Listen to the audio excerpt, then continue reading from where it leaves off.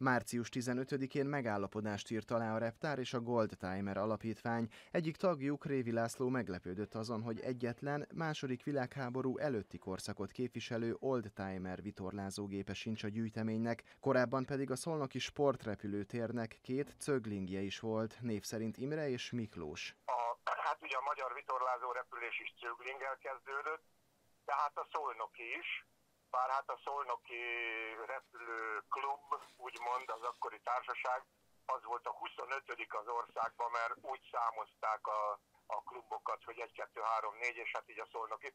Úgyhogy ennek a két gépnek, ennek A 2501 és A2502 volt a lajstromjele. Laci bácsi felajánlotta a reptárnak, hogy elkészíti a gép szerkezetét. A feladat nem volt új számára, hiszen 2000-ben már épített egy cöglinget, melyet 2004-ben Besenyei György vásárolt meg tőle.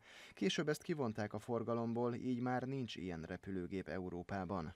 1935 nyarán a legelső szolnoki repülőnapon emelkedett magasba a két szolnoki vitorlázó repülőgép, Miklós és Imre, és hát nem csak a szolnoki repülés történet számára fontos ez a két repülőgép, hanem a síkvidéki repülés szempontjából is fontos tárgyi emlékek ők. A Repülő Múzeum és a Goldtimer Alapítvány reméli, mi hamarabb sikerül összegyűjteni a faanyaghoz, a vászonhoz és az egyéb kellékekhez szükséges összeget, hogy minél előbb elkészüljön és méltó helyére kerüljön a Szolnoki Miklós. Miklós.